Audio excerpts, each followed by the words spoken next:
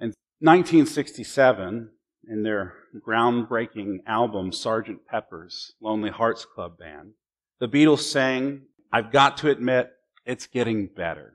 It's getting better all the time. And then John Lennon throws in, can't get no worse. And I've got to admit that that is a song that popped up in my head as I was uh, studying this week's passage. Because for Israel, for the first time in 1 Samuel, it seems that things are getting better. A little better all the time. Because think about what we've seen so far in our study of this book together over the last couple months.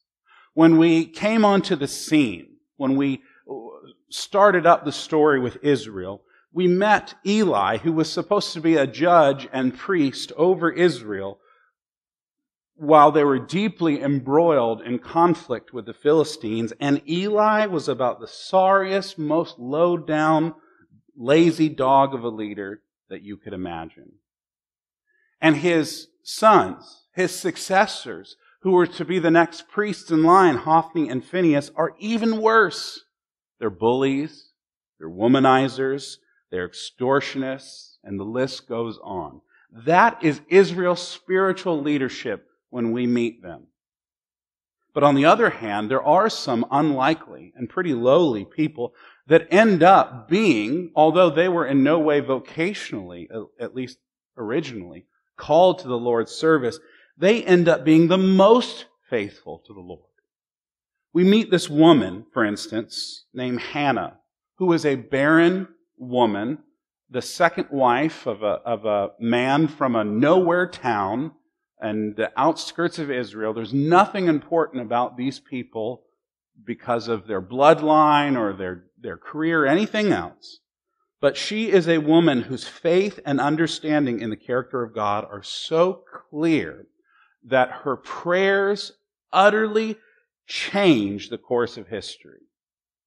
And we can see that in the birth of her son, Samuel, who we just read about this morning. In fact, Hannah's prayers were so powerful that we see Mary, the mother of our Lord, even reflect and paraphrase and quote some of those things when she finds out that she too is going to have a son who turned out to be our Lord Jesus. So there's Hannah on the one hand. And then on the, uh, in addition to that, there is Samuel, her son, who, when we see him in his first story by himself, he's just a young boy serving in the tabernacle in Shiloh under the priest Eli, who is corrupt and, and, and, uh, and not a very good priest. He's just a little boy, and yet the word of the Lord comes to him and through Samuel, who is a child, the revelation of God is opened back up to Israel. And so that's the characters we meet. That's the scene that is set. And in the last few weeks, we've seen how all of these characters, with their particular characteristics, both good and bad, come to a head when they go to war with the Philistines. And as the Lord promised to Eli and then eventually to Samuel, he destroyed Eli's line because of their unfaithfulness. Hophni and Phinehas that went to battle with the Philistine army who were toting the Ark of the Covenant as if it were a little trophy or a, a flag or an intimidation tactic, they have been crushed by the weighty glory of the Lord. And the Ark of the Covenant is pried from their cold dead hands, rather, by the Philistines and taken away into exile. And when this news gets back to their father, it's such heavy news that Eli falls back out of his chair, and the Bible says because of his great age and weight, he snaps his own neck and dies in shame. That's the end of his career. But the glory of God that was too heavy and ended up being fatal for the Israelites is just as fatally heavy for the Philistines. It destroyed their false idol Dagon. Irra- uh, sorry, irradiated them with tumors. And it sent an overrunning plague of mice into their cities. And finally, after seven months of living under the pressure and the oppression of the Lord's hand, the Philistines get wise and decides God's glory is too much for them, so they send the ark back to Israel. Now we would think that that's nice, happy end of the story, but that ends, that passage ends rather with 70 Israelites also being crushed by the Lord because they too handle the Ark of the Covenant flippantly. And so the survivors of that catastrophe send it to its resting place in Kiriath Jearim, which is where our story picks up today. There's a lot of scandal, there's a lot of warring, there's a lot of irreverence, there's a lot of death. That is 1 Samuel so far. Nothing really good. Can't get no worse, again, as John Lennon said. But for 20 years, we read in verse 2 the Ark of the Covenant, with its supermassive gravitational weight of holiness, has rested in Kiriath Jearim, in Abinadab's house under Eleazar the priest. And for 20 years, nothing particularly new or exciting has happened in Israel. But suddenly, without any indication from the author, why we don't really know, suddenly a revival breaks out all over Israel. Because, verse 2 says, the whole house of Israel longed for the Lord. Finally, after all these years, Israel longed for the Lord. The author's words imply a kind of tearful longing, a kind of sorrowful yearning, a kind of desire for repentance and reconciliation in and with the Lord's presence. Now make no mistake. It took them 20 years to feel this. We read last, in, in, in the chapter last week, chapter 6, how they were overjoyed to see the ark in their territory again. It had been gone for 70 years. But it's back now. And they're happy about it.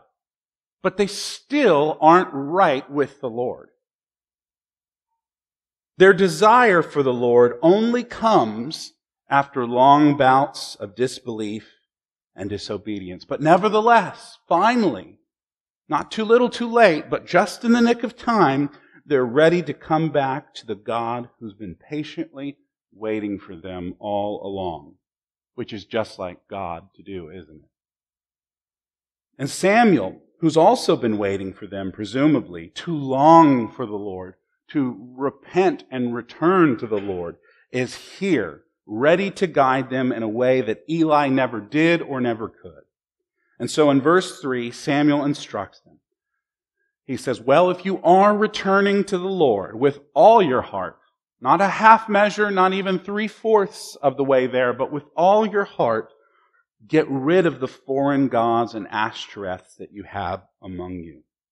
Set your hearts on the Lord and worship only Him. Then He will rescue you from the Philistines. What he's talking about here is true, authentic, actual, genuine repentance.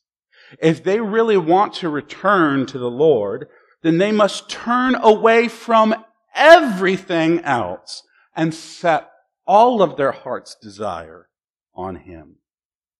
Practically speaking, that means getting rid of every last idol in their life, whether made of wood or stone or in the abstract. Only when they get rid of the Ashtaroth and set their hearts on the Lord, will they be rescued from the oppression of the Philistines. And so in verse 4, after hearing this instruction from Samuel, which is a heavy weight for a people that have not been historically good about listening and obeying what they've listened to, they got rid of all the Baals, the Ashtoreths, and only worship God. We didn't even know that Baals were in the picture in the previous verse, but they showed their initiative and got rid of everything that would possibly get in the way of their relationship with this God. Church, the reality of Israel's situation in this day and age could very well be our own in our own day and age. See, the problem was not with the absence of God from their land and from their midst. He was within Israel all along, long suffering with them. For 20 years, the Lord had been with them again. And before that time period of, of great judgment where he was away judging the Philistines, uh, he was in the presence of Israel all along. So it wasn't, the problem was not with the fact that the Lord was absent. The Lord was present. The problem was with the people. Israel didn't pay attention to the presence of the Lord. They lived as if he were absent. Israel worshiped other gods and they lived like the Canaanites. And often I wonder, when we look at our spiritual society today, and when we look around and see churches all around us imploding from the inside, could it possibly be that we Christians too have been worshiping false gods and our sanctuaries that are meant to be dedicated exclusively and only to the Lord? Is the problem with the chaos we see in our, uh, in our churches and in our individual spiritual lives is the problem because we have set up idols of our own making? Are we sacrificing at the altar of America to the false gods of materialism or exceptionalism or nationalism or militarism? Confusing all of those things with the gospel of Jesus Christ and his kingdom for all nations, tribes, and tongues. Have we fooled ourselves into thinking that this place, Gwinnett County and the surrounding area, is New Jerusalem when really it's so clearly obvious that it's really just old Babylon? Have we glorified the Baals of politicians, whether Republican or Democrat? Have we worshiped at the altar of the Ashtoreths, whatever corporation or philosophical lifestyle idea we may have?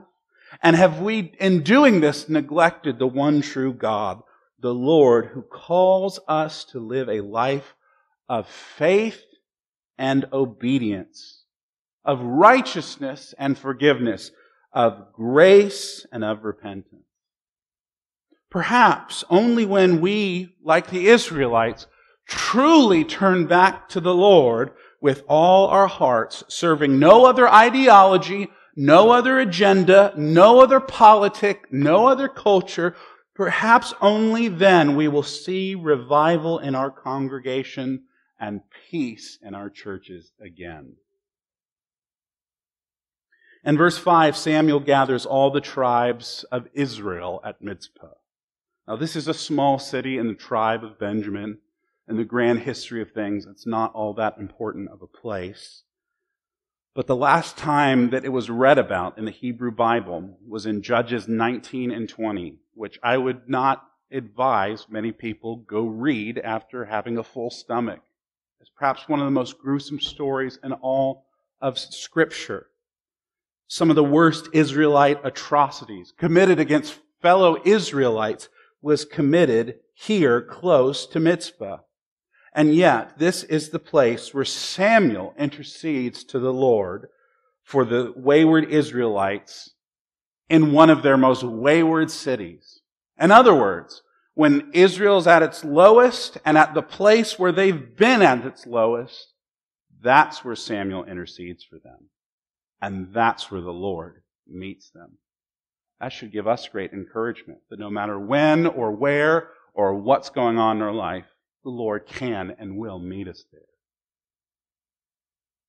Even though Israel wanted to reconcile with this holy God, they realized that his kavod, it's a word we talked about a few weeks ago, his holiness, his heaviness is still too weighty for them to bear on their own. They can't come into his presence all willy nilly, like nothing's been going wrong. They need an intercessor, someone, a mediator, an advocate that can go between God and them without them being obliterated. And so they go to Samuel. And the people are insistent in their newfound obedience, which is a good and encouraging sign. Because in gestures of true repentance and of self-denial, a very selfish people, what they do is they gather up water in this dry and hot and arid land only to pour it out on the ground in this hot desert, indicating that they trust in no other source of water or life than in the Lord. And we read also they fast in the wilderness all day, showing that they believe what Deuteronomy says, that man will not live by bread alone, but every word that proceeds from the mouth of the Lord. So these two staples of life, bread and water, they sacrifice, they forego so that they might be with the Lord. And on top of all of this, they confess out loud and corporately and publicly with the whole of nature and all the watching world, they confess, we have sinned against the Lord. And Samuel, contra his predecessor Eli, actively presides over all of it. Now here is where the rubber meets the road, because they're having a great worship service. They're having a great tent revival meeting. Probably quite literally having tent revival out there in Mizpah. But in verse 7, the Philistines hear that most of Israel has gathered in this little town of Mizpah. And they've not gathered for military exercises. They've not gathered to build up the defenses of the city. No, they've gathered to worship. And so they have made themselves vulnerable. And perhaps feeling a little bitter over what happened just 20 years prior, the Philistine rulers, and perhaps again the same rulers that we saw, the same five rulers that offloaded the ark back onto Israel, are eager to crush the Israelites. So they rally together an army and they march in battle formation on this unsuspecting and unprepared people. And of course, when Israel hears the rattling of sabers in the distance and they feel the tremors of the ground shaking as the armies marches forward, they are overcome with fear. Last time we heard about someone being overcome with fear, it was the Philistines who were overcome with fear because the Lord God had come into the Israelites' camp and yet they still defeated him. So here are the Israelites. The tables have fully turned. They are truly in fear of what might happen. But they do something different from their last battle uh, several years prior. You remember last time in, I think it was chapter 4, when they were facing the mighty Philistines, they objectified God's ark as if it were just some trophy or mascot or something with no consultation with the Lord about its usage in battle. And so they were crushed by the Lord for that arrogance. But this time they do what they should have done all those years prior in their time of trouble. They ask their priest to keep interceding to the Lord on their behalf. When things got real, not abstracted. When armies were marching on their city, they got on their knees and they prayed. They said to Samuel, Don't stop crying out to the Lord, our God, for us, so that He will save us. Not that we can come together, not as the Philistines said, now be men and go out there and fight. No, they don't talk like that. There's no, there's no kind of uh, false masculinity here where we're going to rally together and, and stop these people. No. So that he will fight and save us from the Philistines. These Israelites finally understand what we Christians often forget when trouble comes our way, the first and foremost thing we ought to do is take it to the Lord in prayer. Only He, only the solid rock, only the rock of ages can overcome this life and all of its troubles on our behalf. We may struggle and we may try. And by the way, prayer doesn't mean that we pray and then passively sit on our hands and, and don't live out our life. No, prayer just shows the right orientation of how life ought to go. That whatever comes our way, we trust that the Lord presides over it. And it's not our own planning, it's not our own scheming, it's not our own brilliance. It is the Lord who makes the way forward for us into the future. And so, verse 9 Samuel, being a good priest, makes a sacrifice that accompanies this prayer. We read that he takes this young, spotless lamb and sacrifices it to the Lord. And he cries out to the Lord, using the same language of the Israelites crying out to the Lord when they were enslaved in Egypt. And the Lord hears their cries, and the Lord answers their pleas. See, when they had nothing to offer, when they were at their most sinful, when they had done nothing but disobey, when they were at their weakest, economically, militarily, socially, uh, politically, when they had nothing to bring to the table, they simply turned to the Lord and the Lord hears and answers them. And we know that the Lord answers because right in the middle of his burnt offering, not even when it's complete, right as he's in the middle of it, even before it is finished, the Philistines marching against them hear from the heavens the Lord thundering loudly against them that day. By the way, if you've forgotten in, in chapter 2, Hannah told us that God would do this and her hymn of praise she said, Those who oppose the Lord will be shattered. He will thunder in the heavens against them. It doesn't matter if they're Philistine or Israelite, American, Chinese, Indian, British, doesn't matter. If they go against the Lord, He will crush them with His thundering glory. So we read, the Lord threw the Philistines into such confusion that they were defeated by Israel. Now, friends, you can't get much more, I don't think, or much better or more beautiful of a portrait of the gospel than in these few verses. Let's recount the situation. Here is Israel lost and dead, totally unable to get out of their own idolatries and injustices and iniquities. They were helpless and hopeless. They could do nothing. They needed an intercessor. And they needed someone like Samuel to make an appeal to the Lord to show that they understood that they couldn't save themselves. And all they could do is turn from their sin and selfishness and trust and hope that God would be God to them. And that's what they did. Even when it was hard, even when it was scary, even when it put them at a social, political, military, economic, whatever disadvantage with their enemies, even when it made them laid bare before a very tough and dog eat dog world, they did it and when the threats of this world became abundantly clear, they didn't turn back to their old ways.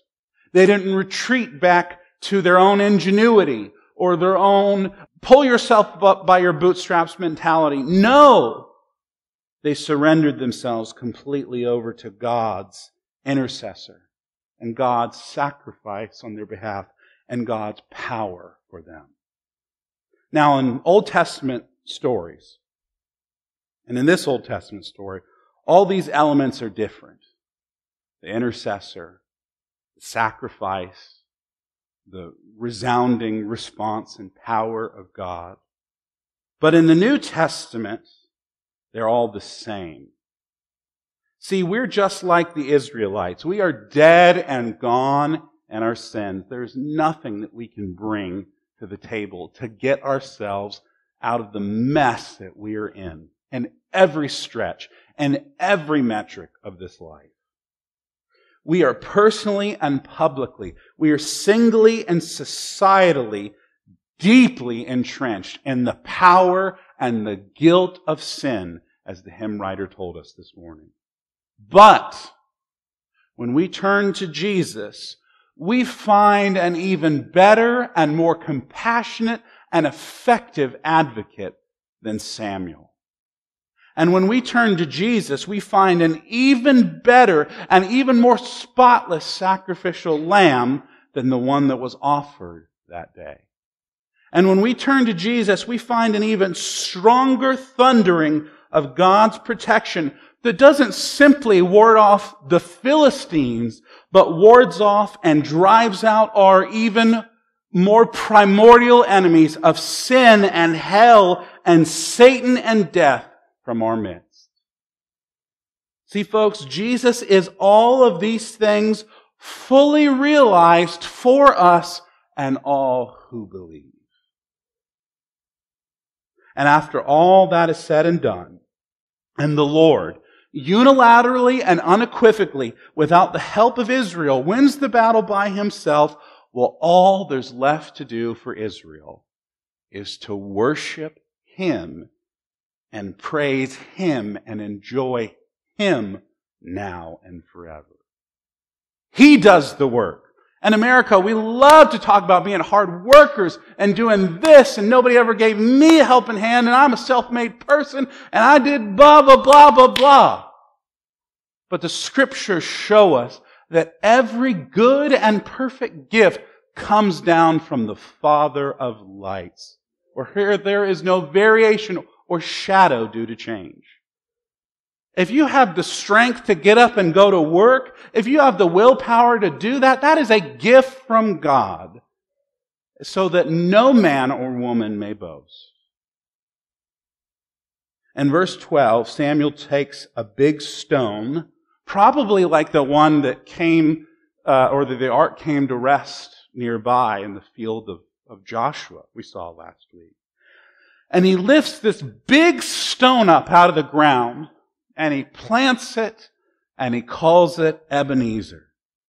Now, I don't know about you, but for me, when I hear the word Ebenezer, I typically think of a stingy, old, decrepit miser from a Victorian era ghost story that's set around Christmas time. But there's nothing Scroogely about this Ebenezer. In fact, this Ebenezer or Ebenezer literally means Eben, the stone, Azer of help. The stone of help. Samuel says that this stone of help symbolizes how the Lord has always helped his people and how he always will. Now, what I find so powerful about this particular phrase, this stone of help, Azer being the important word there, is that it is only used once of a human being in all of the Bible. And that's for Eve. Eve is the Azer of Adam. Without Eve, Adam was incomplete. He needed a helper. He needed a completer. He needed a rescuer to help him fully inculcate the image of God. It wasn't just Adam as the image of God, but Adam and Eve. Together they are the image of God. And he needed her for him to be complete. But every other time the word Azer is used in the Old Testament, it is referring to the Lord. Especially in the Psalms. When you read these different Psalms, that word appears alongside of uh, describing the Lord, also describing Him. The Lord is our shield. He's our protection. The Lord is our rock. He's our foundation and our stability. The Lord is our Azer. He is our help when we have no other help. 18th century Baptist hymnist Robert Robinson was really struck by this word and this image, which he, which is why he wrote about it in this famous hymn that we sang this morning, Come Thou Fount. He says, Here I raise my Ebenezer. Here I raise my stone of help to remind me that hither by thy help I come.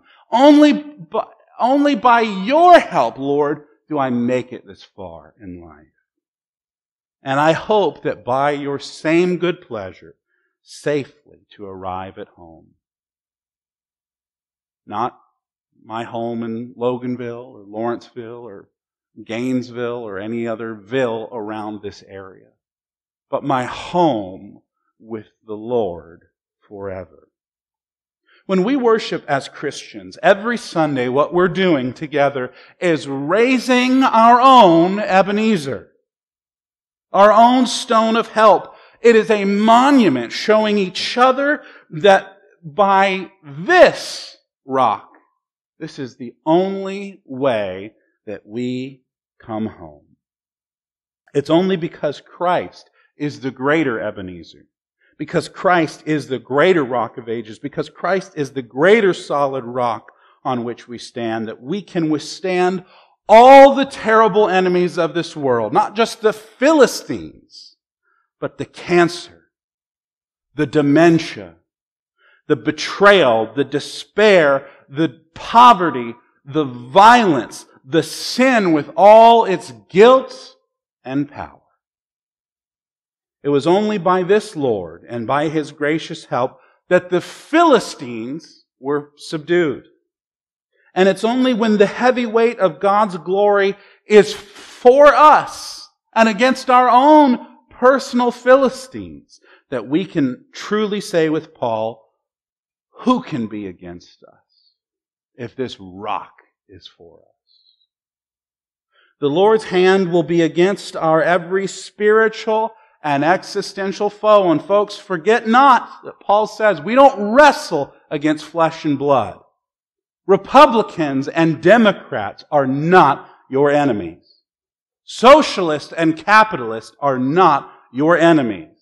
Americans and non-Americans are not your enemies. Your enemies are sin and death. They may work through all of those entities, but that is ultimately what we struggle and wrestle against. But the Lord's hand is against all of those things that crush us because the Lord's hand was first raised up and nailed to a cross for sinners like us. Black and white, male and female, old and young, rich and poor. And no city no society, no nation, no administration will be left standing against the Lord's people. Whether it's the cities of Ekron or Gath, the cities of Washington or New York, the cities of Moscow or Beijing. As Augustine reminded his, his faint-hearted parishioners, as, as members of the Roman Empire that were watching as the Goths and Visigoths were coming down and sacking and sieging the Roman Empire. And this great Pax Romana, this great way of life, our American culture was under assault. And he reminded them that the city of man may fall, Rome may fall, but the city of God will never be assailed. And that's where your citizenship lies. At the end of our passage, we're left with Samuel judging Israel all throughout his life, meaning that he would go on a circuit like an old timey Methodist circuit rider and preacher. He'd go to Bethel, to Gilgal, to Mizpah, and back home to Ramah, helping all of Israel with all of her needs, judging righteously and helping them to worship. And then even when he was, when they were left on their own, he had an altar built at his home so he could make sacrifices for them there. And that's how our passage ends. Things have gotten better.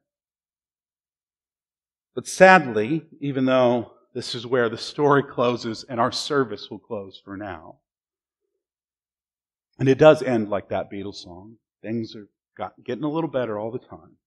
Next week and next chapter, unfortunately, I hate to tell you this, folks, in spoiler alert, but it all comes crumbling down again. Because Israel and all her pride and envy, Israel, who's so faithful and repentant this chapter, well, next time she will beg for a human king and reject God, who's delivered her from Egypt and from the Philistines and eventually from the Babylonians and the Persians and the Assyrians. Well, they won't want that God as king. They'll want a man just like them as king.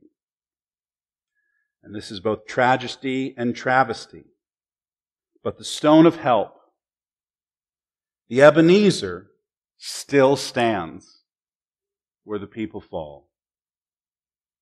And this Ebenezer, this stone of help, this Lord who loves his people, doesn't give up on his sinking sand Israelites.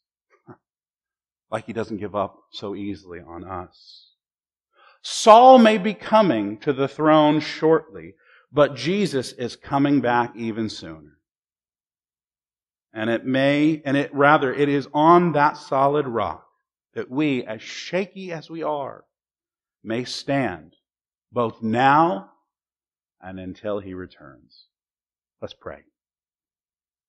Lord, here we do indeed raise our Ebenezer. And it's here by your help that we do come. And we trust in the Lord Jesus that one day in him we all safely will arrive at home. For it's in his name that we pray and ask all these things. Amen.